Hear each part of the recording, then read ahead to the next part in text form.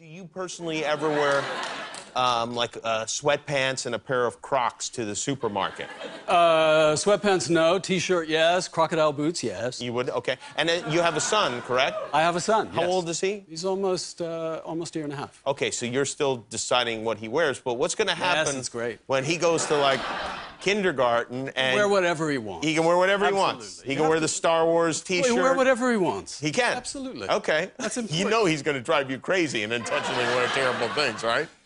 I'll have to just bite my lip.